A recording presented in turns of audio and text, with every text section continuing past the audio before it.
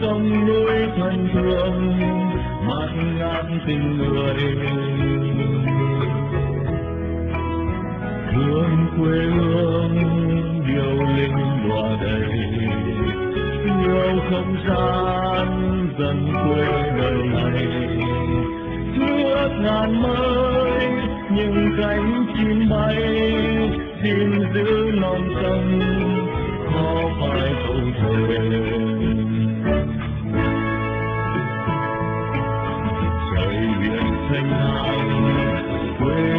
xa đó.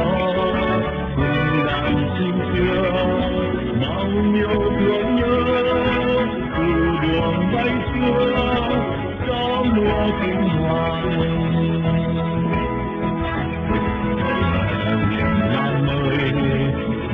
Yêu không công gió, vùng trời thân yêu, anh bay xa mãi từng đàn chiêu di nhớ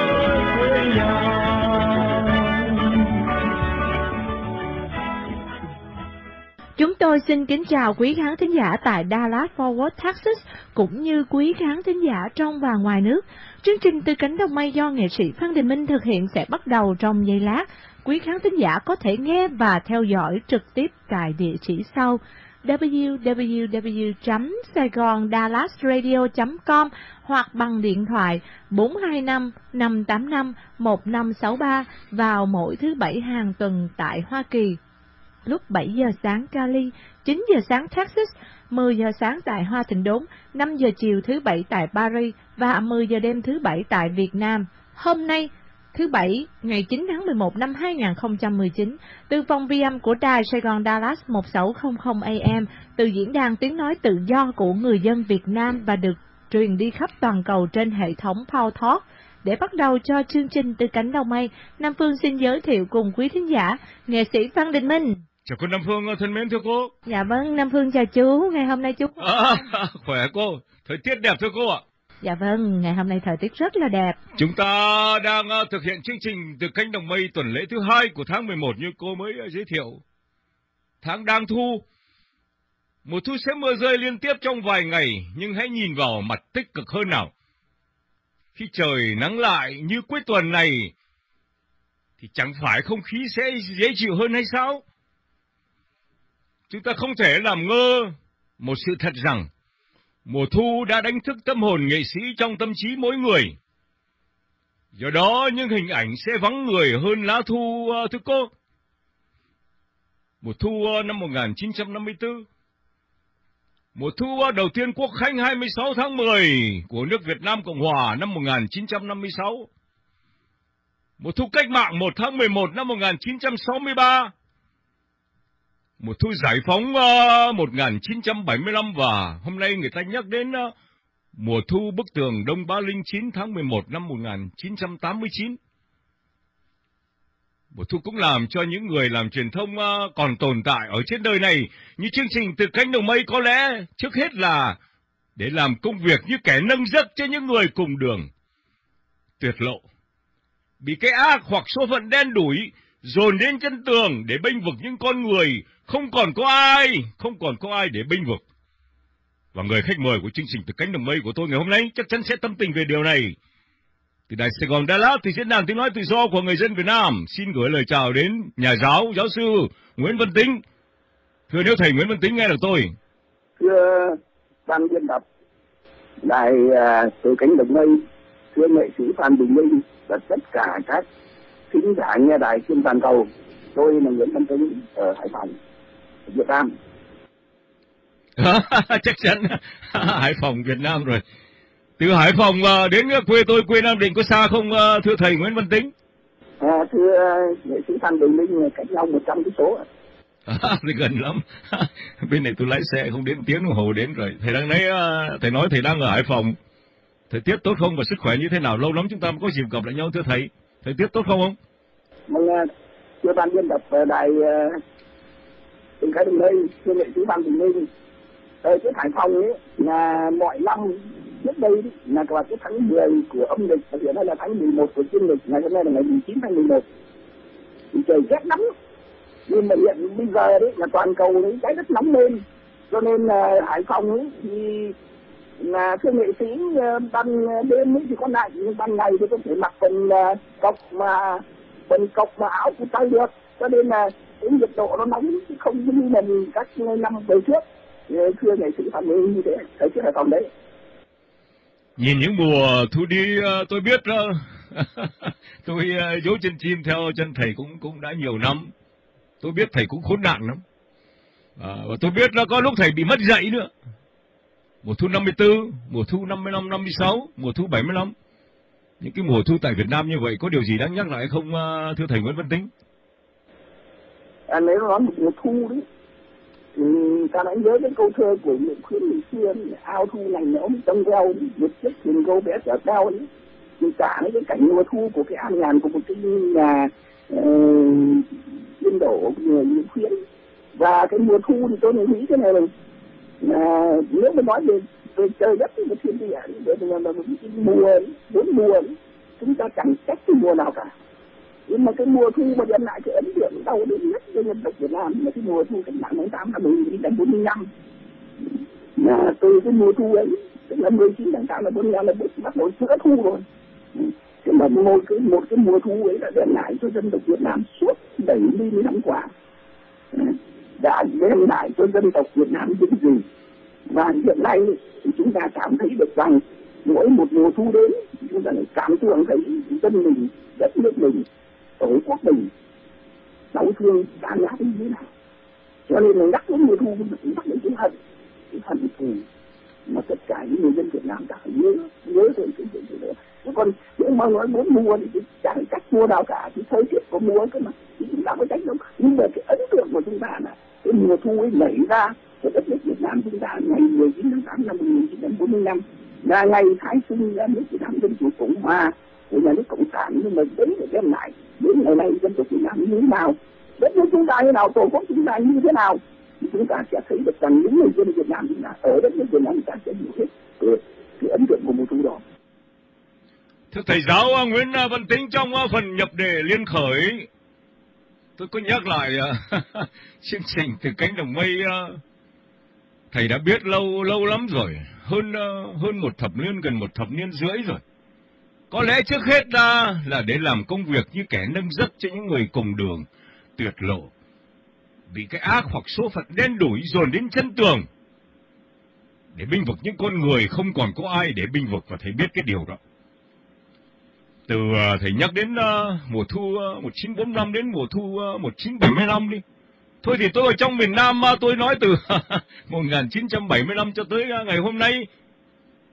Đã 44 mùa lá đổ đảng làm dân tôi khổ. Điều suy nghĩ của tôi như vậy có đúng hay không thưa thầy Nguyễn Văn Tính?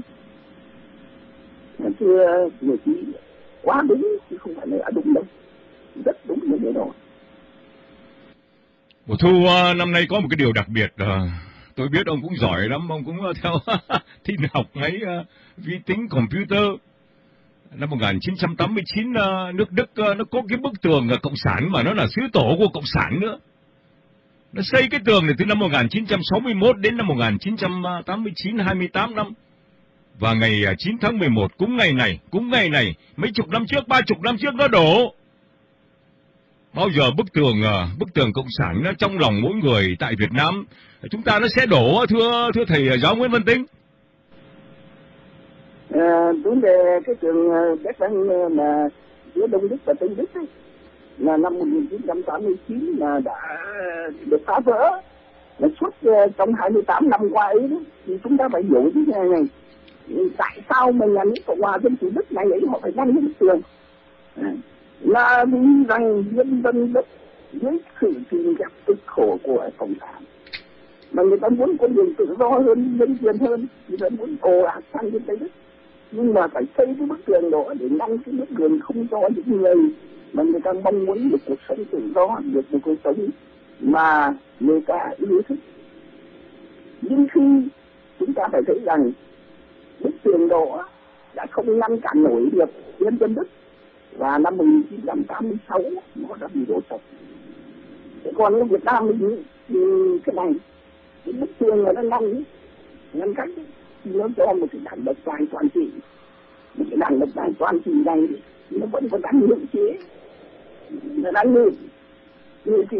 Cho nên cái bức thành này đổ hay không đổ là tự dân dân Việt Nam quyết định nhân dân Việt Nam quyết định mà hiện nay nhân dân Việt Nam chúng ta là đang đang để mà làm thế nào mà thay đổi cái bức thành này. Để cái bức thành này để cho nhân ta thoát cái cảnh mà chúng ta một cổ hai chồng một cổ hai chồng một chế độ hai chính quyền. Luôn luôn áp bức chúng ta, luôn luôn đè nén chúng ta, luôn luôn bác bỏ tất cả mọi cái quyền tự do nhân quyền của chúng ta. Nên cái bức thành này, cái bức thành của những cộng sản Việt Nam có đổ hay không là do tùy nhân dân Việt Nam quyết định trong một ngày gần đến Chúng ta đang dùng tiếng nói, thưa thầy, chúng ta đang dùng tiếng nói làm xoay tròn chế độ đấy. Chúng ta đang dùng tiếng nói làm như bom đạn để đại phá cường quyền là thưa thưa thầy Nguyễn Văn Tính. Chúng ta nhắc đến uh, thầy nói thì tôi xin lỗi thầy. Thưa người chú Phan Đình Minh, uh, nếu nói cái câu đấy thì ta mới hiểu cái câu thơ của Trần Diệu ngày xưa. Mấy cán bút nằm đòn xoay chế độ mỗi vần thư bom đạn phá cường quyền chúng ta hiểu được rằng vâng đúng đúng đúng thế chúng ta hiểu được rằng mỗi vần thơ bom đạn phá cường quyền và lấy cán bút cầm trong tay chế độ bút quan trọng lắm bút khí lớn lắm. Bút không phải là một vấn đề vũ khí tối tân chứ không phải là gì mà mình mà, mà đạn dược nào có thể đi nó được. Đấy. cho nên là cái cái cái, cái, cái quan trọng nhất ấy, là phải làm thế nào để cho cái cái xoay cái bút ấy nó xoay được. Xoay được. Làm thế nào mình làm thế nào mà nó nó nó, nó, nó thay đổi được. Vì những cái vấn đề đó mà tôi đã nói với này nghệ sĩ như vậy mà nghệ sĩ nói những cái cái cái cái nói những cái văn thơ về những người những người đề về những cái nét của con người để xoay vấn đề là một vấn đề quan trọng nhất chất trong hiện nay. Có lẽ chúng ta dùng cả hai đấy, vừa dùng tiếng nói và và vừa dùng bút uh, thưa thầy giáo Nguyễn Văn Tính. Hay nếu chúng ta thầy nói thơ thì tôi bảo là cả ngàn chữ thu về một chữ. Đảng Cộng sản chỉ ác mà thôi. Thưa thầy, thầy nhắc đến bức tường Đông Đức uh, năm uh, 1961 1989 thưa thầy nghe được tôi không thưa thầy thưa, thưa thầy Tính? Dạ, tôi vẫn nghe dạ. dạ, bức tường đổ làm cả hai miền nước Đức sung sức từ năm 1989 cho tới ngày hôm nay. Năm 1975 tôi có nhắc lại thì cái sự thật nó vẫn như vậy anh em chúng ta bốn bể một nhà như người ta nói mà. Bốn bể bây giờ nhìn có thấy còn thấy bể nào hay không ờ, thưa thầy? Ngoài biển, ngoài biển, biển, ngoài bể biển, nó đây hết đảo rồi. Ngoài uh, trong đất liền, ngoài uh, ngoài biển ra, trong đất liền dòng uh, dòng sông uh, Cửu Long nó chảy từ đâu đó, trên tàu đi xuống. Nó chặn từ đầu tới đít thưa thầy. Làm sao khá được phải không thưa thưa, thưa thầy? Vâng ạ thưa ngài kính phan đình minh. Thưa ban biên tập đài tiếng nói từ cánh đồng mây và thưa thính giả toàn cầu. Nói về cái bút thì tôi khi nhắc lại với lại nghệ sĩ ờ, phan đình minh với lại toàn ờ, thể sĩ già. Và ban biên tập ờ, tài chính nói từ cái đồng mây như thế này. Đây có một thầy giáo trước đây có hỏi tôi trong một phiên tòa là vấn đề ý kiến của anh nhà thầy như thế nào. Thì tôi có nói thế này này, tôi có nói mấy câu thơ thế này này. Là ừ, trước đây đấy, năm 1964 số năm mà tôi thành lập cái đảng là chống lại nhà nước Việt Nam đến Cộng Hòa nó bây giờ đấy, thì tôi có nói là đói khổ tràn khắp quê hương buộc tôi cần súng lên đường diễu sinh và ngày nay đấy thì tham nhũng dày xéo giang sơn buộc tôi cần bút lên đường đấu tranh. Cho nên là những cái bút những cái, những cái, cái vần thơ ấy mà tôi còn nhớ mãi đến bây giờ. Còn bây giờ tôi muốn nói như này nghệ sĩ vừa hỏi tôi là về vấn đề cái quyền tập và chuyện này ừ, nén như thế nào và Việt Nam ra sao? Biển đảo rồi chứ này các thì xin cả lại thế này nhé. Ờ, thưa tam mươi tập, đài chúng nói về cánh đồng mây thưa người sĩ phan đình minh tất cả các chúng ta toàn cầu, Việt Nam hiện nay mình rất đối đen đối đen nắng phải nói cái này mình thù trong giặc ngoài. Giặc ngoài là thế nào? Trung Quốc năm nay họ chỉ thậm chí bắn chết cả ngư dân Việt Nam ra, tại ngoài biển và chuyến bãi thứ chính. Bên trong, dân tình đặc ngoại chúng ta phải thừa là mình chưa từng thấy bao giờ, mà mình đối chen như thế bây giờ. Về vấn đề nhân dân từ chợ búa cho đến trường học, từ nơi nọ đến nơi kia, không ai mà không tiêu ca, không oán trách. Thế thì từ cái câu nào oán trách đấy tôi đã nhiều lần nói với là nghệ sĩ, là việc nhân nghĩa tốt để nhân dân. Nhưng mà dân đã không nhân nghĩa đẩy sinh lên nhiều cái, không có nhân nghĩa. Cha giết con, anh giết em vợ giết chồng, cháu giết bà. Cháu giết bà ngoại, bà nội giết chồng. Vẫn linh chứ không mình cho nên là, nói về vấn đề về Việt Nam hiện nay chúng ta, thì nghệ sĩ ban mỹ vinh và ban biên tập đài từ cánh đồng mây ở bên Hoa Kỳ, chưa thể nào nhìn thấy được cái tình trạng ở đất nước Việt Nam cũng nhanh như bây giờ nó đi là nằm. Thế nhưng bây giờ cái cùng trong tập ngoại như thế thì anh cũng thành Việt Nam ra sao đây? Vì tôi cứ nghĩ cái này này. Tất cả mọi cái nó là trong quy luật của lịch sử. Có thịnh rồi có suy có thành, có bại mà có khi không ngờ.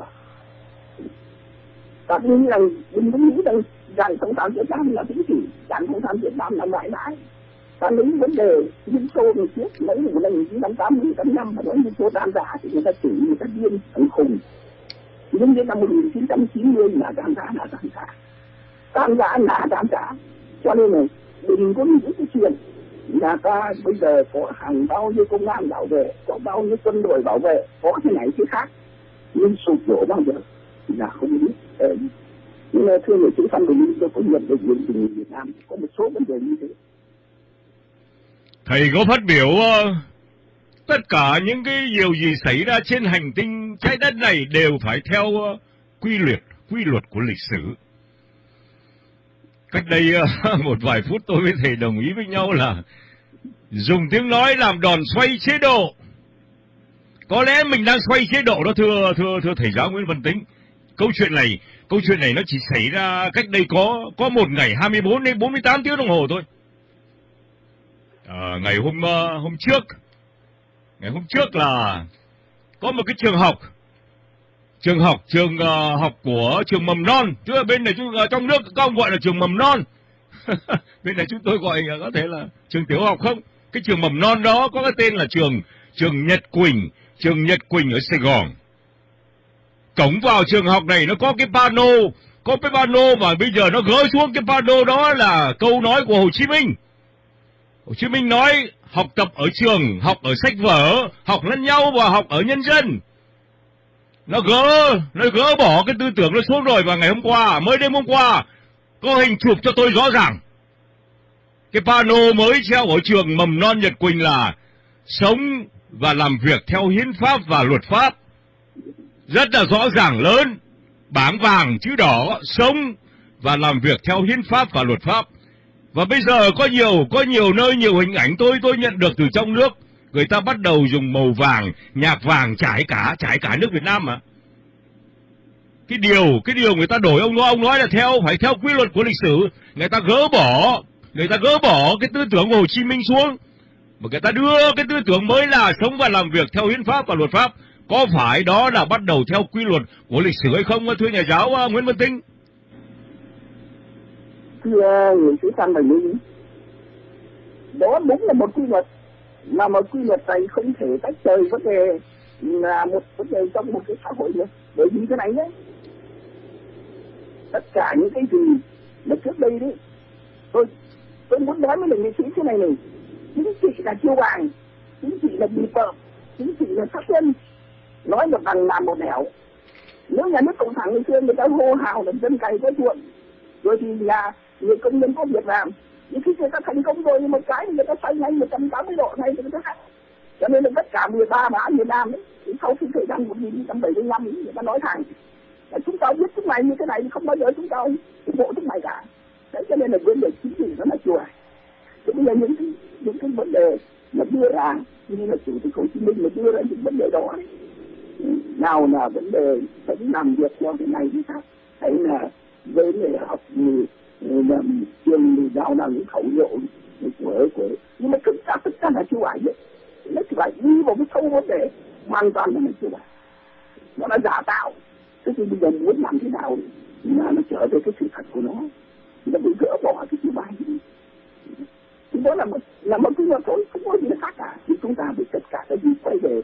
Muốn gì thì gì, nhưng mà tất cả cái gì đó dù giả dối dù thế nào chẳng nữa thì quay cuối cuối cùng những vòng quay của nó vẫn về cái sự thật. Nhưng sự thật của nó là phải bắt buộc anh phải cởi bỏ anh phải cho ra. Là anh không thể để như thế thì nó là một cái chiêu hại thôi mà. Cho nên những người như cái trường tiểu học mà cái trường mầm non mà trước đây mà mà mà, mà nghệ sĩ chúng tôi cũng học nó là cái trường tiểu học. Thì cái mẫu giáo của chúng là cái nước lòng mà chỉ có phải là bây giờ là lớp một là cái lớn đâu. Cho nên bây giờ đưa vào cái giáo của tôi như thế và đưa vấn đề như thế những khẩu hiệu như thế thì tôi mới nói định hay là này ở vấn đề nghệ này đấy là một quy luật là quy luật lịch sử mà không thể cách nơi là vấn đề đời sống của nhân dân ta được Ngày hôm qua, trường Nhật Quỳnh, trường mầm non tại Sài Gòn. Tại Sài Gòn, thành phố đẹp lắm Sài Gòn ơi của tôi, thưa thưa thầy, thưa thầy Tính. Đã giữ, đã dỡ bỏ, đã dỡ bỏ tư tưởng Hồ Chí Minh.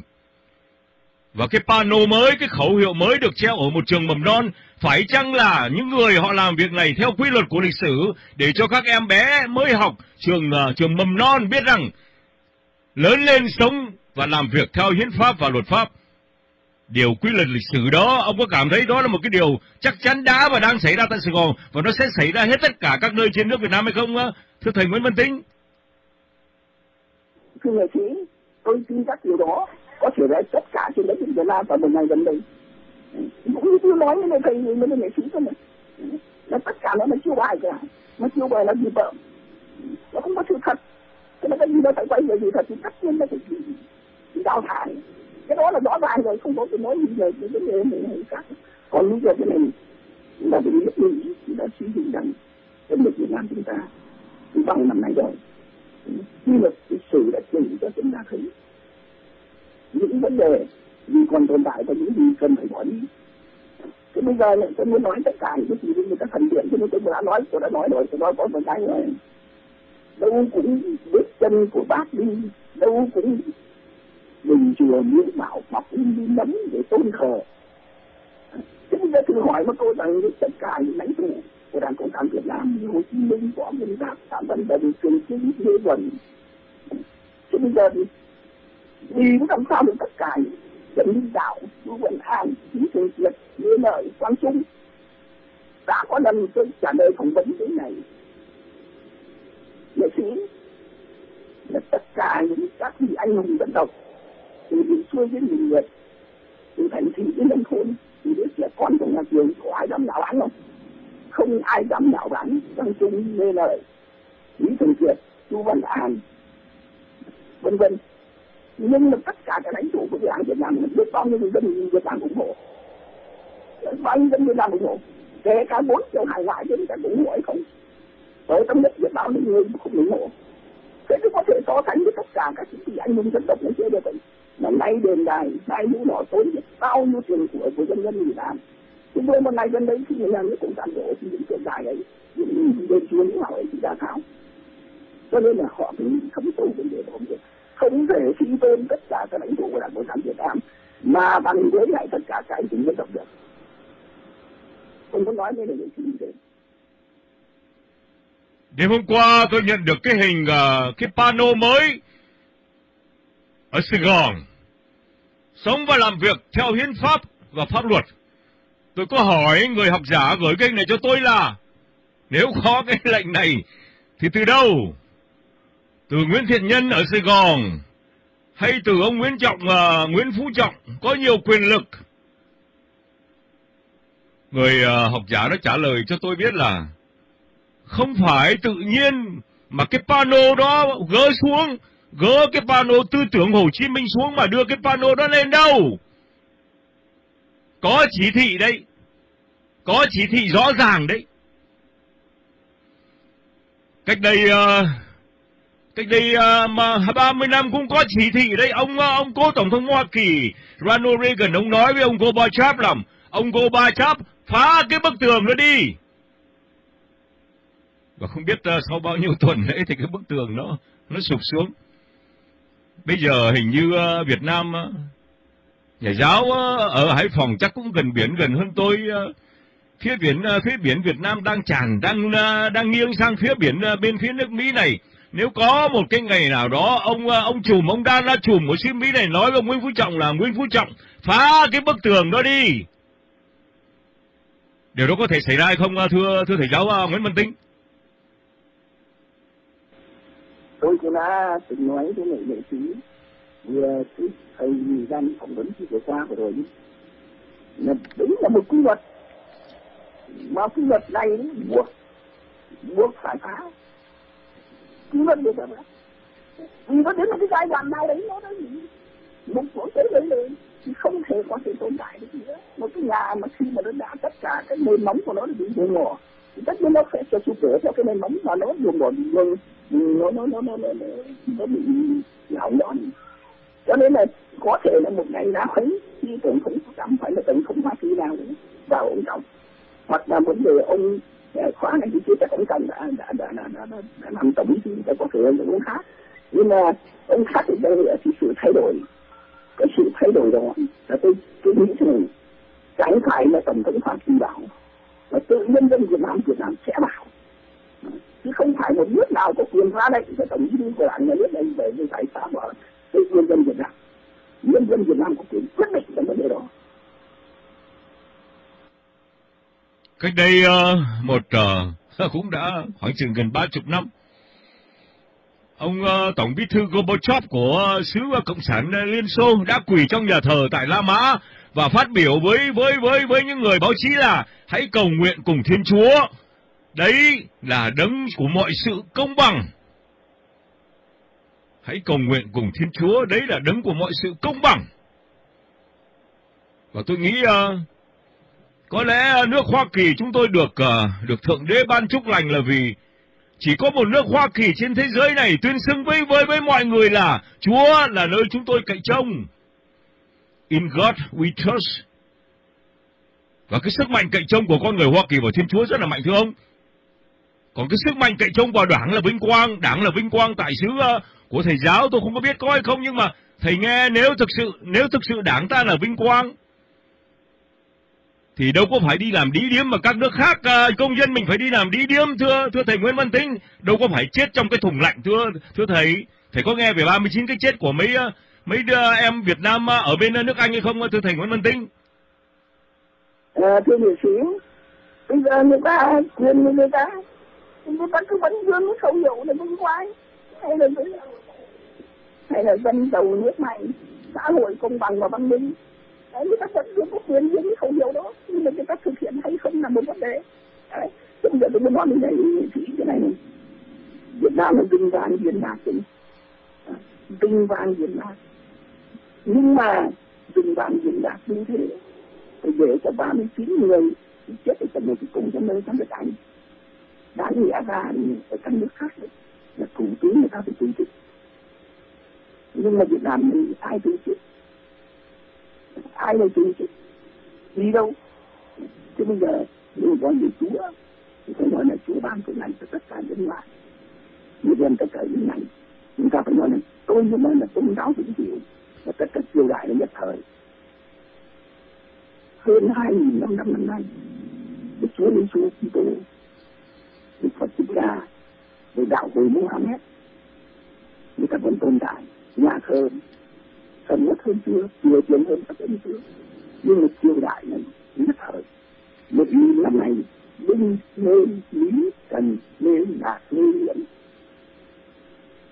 chứ lạ có một việc của tương lai tất cả triều đại nọ kế tiếp triều đại kia đó là quy luật của lịch sử và những tôn giáo nào gì? Bởi vì các chỉ đạo không người ta bỏ đi tham dự nếu nhân dân Việt Nam mà đi theo công giáo thì không bao giờ mắc những cái tội lỗi này thì khác đối với người ta rằng cũng như ta chỉ sinh khi còn bé đã biết nằm rồi đã biết sống bằng động thì không bao giờ người ta nằm tàn, người ta nằm bậy. Thì đến những cái giờ tôi nói nhưng còn người ta muốn muốn người ta đang có đang có quyền hành những người sinh không thế thì đang có quyền. Người ta muốn rất là tài trong người ta đang có quyền. Cho nên người ta dương cái khẩu hiệu gì mà nhận được? Tuy nhiên cái khẩu hiệu đó khi người ta sẽ thực hiện hay không thì bây tất cả mọi người thượng tôn pháp luật làm theo pháp luật và làm theo chính pháp và pháp luật. Nhưng mà khi đọc pháp luật họ đưa ra mình cái xử quả nó thì, thì tất cả những sự thật. Họ cũng vẫn cứ nắm gì theo ờ, án người ta bỏ túi rồi, thì anh làm gì người ta này. À. đấy cho nên là cái vấn đề thượng tôn pháp luật làm cho hiến pháp. Mà chính nhà nước người ta đã vi phạm hiến pháp. Như thế thôi mà thầy đã có một thời gian uh, chắc là ngắn thôi đứng trên bục phấn. Rồi Ờ, rồi nó bắt thầy đi tù. Ờ, đời thầy khốn nạn bao nhiêu mùa thu lá đổ. Nhưng mà cũng may cho thầy đấy. Nếu thầy còn ở lại trong đảng, thầy làm lớn được có thể, thầy cũng sẽ phải đi à, đi chầu à, đi với theo Hồ Chí Minh à, như ông thứ trưởng bộ giáo dục gì đó, Lê Hải An gì đó thầy. Rơi từ lầu 8 xuống mà không gãy một cái xương. Như ông đại tướng Trần Đại Quang gì đó thầy 58 tuổi. Nguyễn Ba Thanh phòng Quý Ngọ. Nhiều lắm thầy nhiều lắm. Cũng may cho thầy cũng may cho thầy là thầy đã bỏ cái nghề dạy học ở chế độ cộng sản để sống là một con người bình thường ở dưới chế độ cộng sản. Chứ nếu ông còn ở lại chắc bây giờ ông ông, ông, ông cũng có thể ông ông đã xương trắng rồi. Điều tôi suy nghĩ về như vậy có nghe nó đau khổ quá hay không thưa thưa thầy giáo Nguyễn Văn Tính? À, thưa nghệ sĩ Phan Đình Vinh nghệ sĩ nói rất hài hước đúng là như thế đấy. À, cũng là cái tầm tuổi thanh niên tôi lúc bây giờ là từ 20 cho đến 24 tuổi cho đến 33 tuổi là chúa cũng ờ, giống tôi vào trong rừng mà nước cộng sản bắt tôi đi tù hơn 7 năm mà đều là cũng là trong rừng núi cả. Cho nên tôi cũng là sự bom đạn. Thì đúng như cái ờ, hài hước như là nghệ sĩ nhận khác ấy nếu mà tôi mà ở với cái ờ, đảng cộng sản này thì tôi cũng có thể mà người ta đánh giá tôi là lấy công an ông bảo tôi. Chứ không phải ai đâu bác có thể từ cái bộ trưởng chứ không phải là ít như trong chính phủ này đâu, chứ không ít đâu. Đấy. người ta nên lấy công an họ đến nhà tôi chưa họ bảo tôi thế này là bác không gặp thời. Bác không gặp thời. Nói thẳng đấy chứ phải nói thẳng nhưng mà không Đừng có những người người ta còn phát biểu thẳng gần bác ngày nào chúng tôi thấy về văn hóa, địa lý, lịch sử, những cái khác chúng tôi cũng thấy rất rõ ràng cho nên thực tế mà nói như là cái câu phản nghệ sĩ phần mình mà mà mà mà nói cái cái đó là quá đúng mà tôi cũng cảm ơn nhà nhân dân xin chúa là chúa đã giấu tôi trong những năm tháng tôi tu đời người ta mới mà tránh được bom đạn tránh được cường quyền mà đến bây giờ tôi còn sống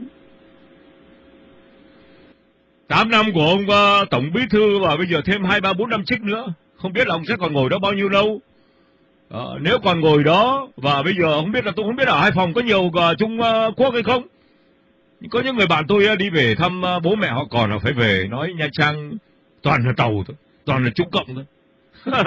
Bình Dương, thành phố Bình Dương ở, ở giữa Sài Gòn với Biên Hòa của tôi ngày xưa người ta cũng nói cả cái thành phố đó, cả cái tỉnh Bình Dương đó bây giờ bác ạ, à, toàn toàn Trung Cộng thôi cái điều đó có làm cho ông cảm thấy uh, thấy có điều gì uh, ấy nấy lo lắng uh, trong lòng ông ông cũng đã ông cái đèn của ông cái đèn của tôi nó cũng cạn dầu rồi. Nó cạn dầu rồi. Có làm lo không? Có làm mà thầy giáo tính lo lắng lắm không thưa thầy? À, thưa nghệ sĩ chưa cạn dầu đâu. Chưa cạn dầu. Nước nga chỉ cái như này cái lý tưởng của con người thì khi dạy đám quan đại lại thì lúc bây giờ mới nghĩ rằng cái cạn dầu. Còn bây giờ chưa đến mức cạn dầu. Còn cái cái ờ, uh, trung cộng này này đấy là nó có nhiều cái âm mưu rất không độc.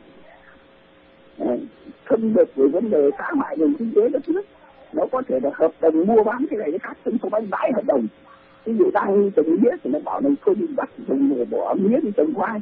Nó mua với giá cao thì đến lúc thì nó lại không mua giá cao nữa nó lại cho nên là thanh long này những khoai lang này rồi thì các hải sản loại về nông sản của ta nó làm cho ta nhiều khi rất là đau đớn. Này, cái thứ nhất, cái thứ hai nữa là nó xâm nhập vào tất cả những các khu dân cư để nó nộp lên những cái phi cơ doanh nghiệp nó làm. Để bóc lột tức là đồng của nhân dân Việt Nam chúng là cái thứ ba là hoạt động tình báo.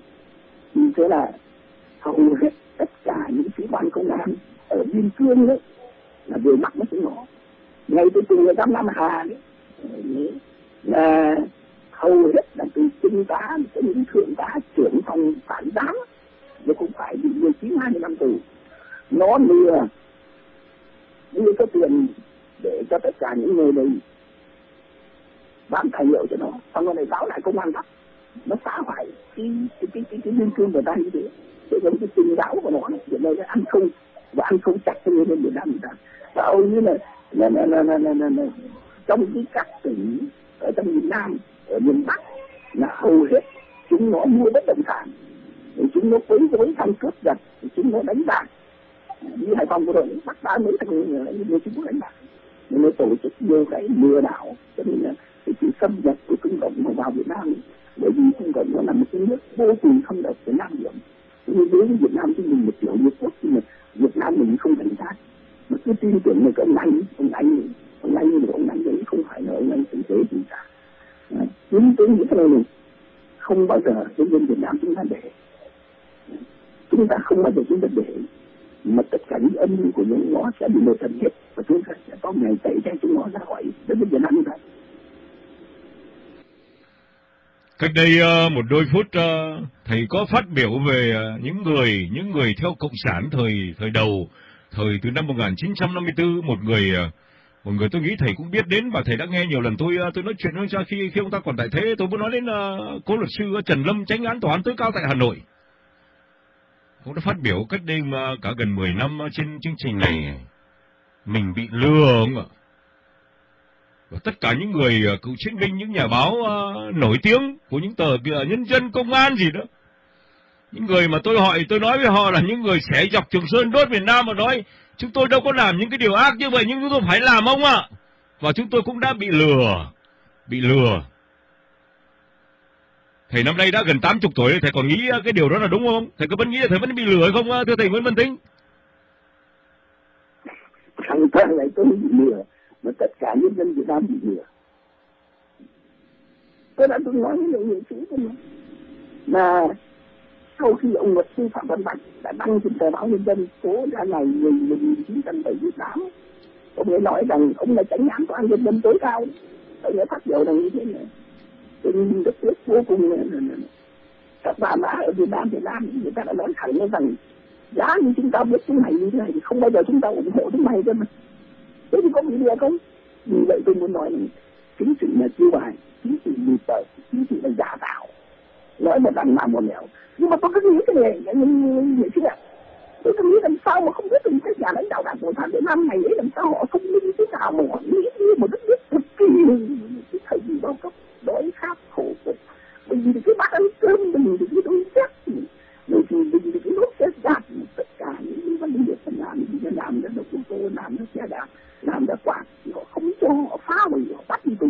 Thì tôi không hiểu làm sao mà còn này này này này này này này đưa được một chính sách như thế ngày này cũng nói rất nhiều về vấn đề đó làm sao để cái sự nâng đỡ của dân mà cái chính rất kỳ lạ như vậy nhân dân Việt Nam đói khổ người chỉ có nghĩ gì đó nhưng mà giờ tôi muốn làm đến cấp lên biên giới miền Nam này nhà máy sản xuất xe phòng lập tức bắt cái tù này nhà cơ sở sắp xe làm đánh sập nhà máy sản xe làm không cho làm một cái gì không nên dân ta hưởng một cái gì cả thì cũng có một chế độ gì đã như thế để tôi cho những vấn đề nó nó là như thế này tôi nhiều khi muốn thực hiện một cái chương trình nó có cái tâm tình vui lắm mà thưa thưa thưa, thưa thầy giáo mới Văn Tính. Nhưng chẳng có cái điều gì uh, cho tôi có thể thực hiện một cái chương trình nói về hay về về chế độ về cộng sản được. Họ tự làm họ như vậy thôi. Tôi chẳng nói gì khác uh, thầy có thấy tôi nói một cái điều gì khác hơn ngoài những cái điều nó xảy ra mà những cái điều mà tôi tôi nói với thầy không? Cả ngàn chữ thu về một chữ. Đảng Cộng sản chỉ ác mà thôi. Nhưng chữ ấy làm cho trí óc cả triệu người sợ đến chết, sợ đến toát mồ hôi. Có Nguyễn Văn Tính không sợ, vẫn nói công an đến nhà cũng vẫn nói. Có những người thầy giáo không sợ vi Đức Hồi, công an đến nhà vẫn nói. Có những người thầy giáo không sợ Vũ Hùng, Vũ Mạnh Hùng. Có những người ở trong tù tuổi trẻ rất oai hùng, luật sư Nguyễn Bắc Chuyển kỹ sư Phạm Văn Trội, kỹ sư Lê Anh Hùng, tất cả những người này tôi nhắc tên thầy đều biết cả, thầy đều quý mến cả, họ vẫn ở trong tù, cái điều đó có đáng thương cho những người tuổi trẻ như vậy không thầy giáo Nguyễn Văn Tính? Dạ tôi đã nói là những vấn đề hiện nay mà thầy giáo đã bảo là dỡ bỏ những cái pháp đô hấp thích những cái khẩu hiệu mà trước đây mọi dùng cho tất cả các trường học họ tất cả các công sở rồi mình này cho mình hỏi sẽ dỡ xuống. Vì tất cả những cái đó nó không sự phù hợp với lại thực tế của nhân dân hiện nay. Thì còn cái nữa thì mình tôi muốn nói là vấn đề là phải giáo đã nhắc tới. Nên là tôn thượng tôn pháp luật. Mọi người đều làm cho hiến pháp và pháp luật. Nhưng bây giờ người ta đưa ra mình nó xét xử. Mà rõ ràng là mình làm việc đúng. Nhưng mà họ cứ bảo là sai. Thì đó có phải là thượng tôn pháp luật không? Đấy có phải làm cho đúng pháp luật của hiến pháp và pháp luật không? Có mình biết bao những người ờ, từ trong cái trận kim như những năm phút như là những phạm văn tội hay những cái khác. Thì họ không hề những cái sự thật cả. Họ đều mong muốn cái nước nhà được được được được được được, được, được, được nhân quyền thực sự tự lo thực sự. Nhưng họ vẫn đi xử vẫn chịu tù. Cho nên là cái tôi muốn nói cái này là cái sức mạnh cái chân lý nó thuộc cái quả đất mạnh. Nó thuộc cái quả đất mạnh. Mà người nào có quả đất mạnh thì họ muốn bảo con trâu cũng như triệu cao ngày xưa đời người tần bảo là con con bò thì phải bảo đó là con dê. Nếu ai nói con bò là phải chém ngay cái khác. Nó là như thế cơ mà. Cho nên là cái chuyện của chúng ta nói vấn đề ở đây. Nó nó là vấn đề mà chúng ta đã thứ tư thầy ờ, thờ điều phát biểu của thầy trong chương trình ngày hôm nay tôi tôi ghi nhận và tôi thích nhất đó là mọi sự đang theo quy luật của lịch sử những điều ờ, những điều tôi nhìn thấy ờ, tôi phát biểu với thầy là trong một buổi tạ đàm của của bộ công an ở ngoài Hà Nội, bây giờ người ta dùng tất cả các khăn trải bàn, các ghế ngồi đều là màu vàng cả. Bây giờ đêm hôm qua, cách đây mười mấy tiếng đồng hồ, tư tưởng ờ, Hồ Chí Minh đã bị dỡ bỏ và được cái pano mới lên là sống và làm việc theo hiến pháp và pháp luật. Quy luật của lịch sử đang đang diễn tiến đấy chúng ta đang vào những giây phút chót của chương trình từ cánh đồng mấy ngày hôm nay. À, trước khi uh, chúng ta phải rời nhau chúng ta phải xa nhau một thời gian. Chắc chắn là tôi không quên thầy giáo đâu. À, ông làm cho tôi uh, vui là uh, dầu rằng đèn chúng ta có cạn dầu. Nhưng chúng ta vẫn uh, dùng tiếng nói để xoay uh, xoay tròn chờ chế độ. Cho đến khi nào uh, đèn tắt? Thì nói đi trước khi chúng ta phải chấm dứt chương trình ngày hôm nay thưa thầy Nguyễn Văn Tính. Vâng tôi muốn nói vấn đề để chấm dứt chương trình ngày hôm nay thì à, thưa, kính thưa ban biên tập lại từ cánh đồng mông kính thưa nghệ sĩ phan bình minh và tất cả các khán giả toàn cầu. Những à, mong mọi nỗ đất của tôi hiện ở à, đấy là làm thế nào cho nhà nước cộng sản việt nam có sự thay đổi, phá vỡ cái bức hành trì mà vẫn cứ làm thực hiện chủ nghĩa xã hội. Để rồi hợp tác đối lấy toàn dân xây dựng một chế độ đa đa đảng. Và tôi nghĩ rằng cái chế độ đảng đa đảng là cái chế độ thích hợp nhất với nhân dân Việt Nam. Nó phù hợp với 180 nước trên thế giới. Cái gì? Đa số thì chúng ta làm. Mà cái gì thiểu số thì chúng ta bỏ đi. Mà tôi mong các nhà lãnh đạo đảng cộng sản của Việt Nam. Cũng phải nghĩ như thế, đó là những quy luật. Đó là những quy luật. Nhưng tôi đảm đã hiện là cái chuyên cơ sở trước mắt nếu mà chúng ta cứ duy trì một chế độ độc tài, thì không bao giờ đến được Việt Nam chúng ta được. Không tình cả đấy là cái điều mong mỏi duy nhất của tôi. Cái thứ hai nữa là qua đại tướng nói về cái đường mây, là tôi xin à, hướng tới ban nhân tập hướng tới nghệ sĩ văn minh, nhìn tới các khán giả trên toàn cầu lời kính chúc mạnh khỏe an lành là hướng tới Việt Nam của quốc chúng ta. Một ngày gần đây sẽ đổi thành và tiến đẹp. Thưa thầy giáo Nguyễn Văn Tính, uh, ờ, buổi nói chuyện của tôi và thầy đang được phát đi từ đài Sài Gòn Dallas 1600 và tất cả những chương trình của đài Sài Gòn 1600 cũng như diễn đàn tiếng nói tự do của người dân Việt Nam có những buổi nói chuyện bất hủ, không đơn thuần chỉ là nhờ tài năng đích thực, đầu óc phân tích suy nghĩ nhạy bén, mà còn phải là sự tổng hòa với cái tâm cao cả. Cái tâm phải là cao cả, không đơn thuần là những cảm xúc, là những xúc cảm, mà phải có ý nghĩa lớn lao. Người thực hiện chương trình và người uh, hợp tác với chương trình này, như thầy không va, tôi với thầy không phải là thợ nói. Bởi mỗi chữ, mỗi lời đều phải chứa cái nhụy của cuộc sống. Nhiệm vụ của con người không chỉ hiểu mà còn phải biết rung động và phải có những tình cảm thẩm mỹ tốt đẹp. Để cái tình cảm ấy giúp ta cải tạo xã hội, và nhân đạo hóa con người, nhất là nhân đạo hóa con người cộng sản thưa thầy Nguyễn Văn Tính. Thay mặt cho toàn thể anh em trong chương trình từ cánh đồng mây chúng tôi cảm ơn thầy. À, Hải Phòng giờ đã khuya rồi, chúng tôi đổi, ờ, chúng tôi còn đâu có đổi được, nước Mỹ để đổi sờ. Do đó thay vì uh, bây giờ đã xong chương trình, thầy đã đi ngủ rồi, bây giờ bắt chúng ta mới xong chương trình, đã gần khuya. Chúng tôi cầu uh, chúc mọi sự an lành với thầy và gia đình. Chúng ta sẽ gặp lại nhau trong những chương trình chỉ khác vì đèn của thầy còn giàu, đèn của tôi còn giàu.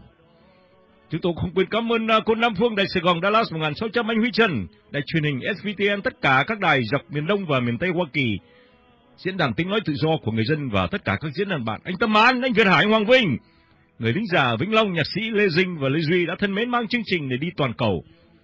Cho đến lần gặp tới, chúng tôi xin kính chúc quý vị một cuối tuần thật an lành, thật hạnh phúc. Xin chào tạm biệt thầy giáo Nguyễn Văn Tính. Xin chào tạm biệt quý vị. Quý vị vừa theo dõi chương trình từ cánh đồng mây do nghệ sĩ Phan Đình Minh thực hiện. Xin thay mặt đài Sài Gòn Dallas 1600 AM trân trọng cảm ơn nghệ sĩ Phan Đình Minh và nhà giáo Nguyễn Văn Tính. Chương trình sẽ được phát lại vào chiều thứ ba. Mến chúc quý vị cùng quý khán giả một ngày vui như ý, một đêm an lành và hẹn cùng quý khán thính giả trong chương trình kỳ tới.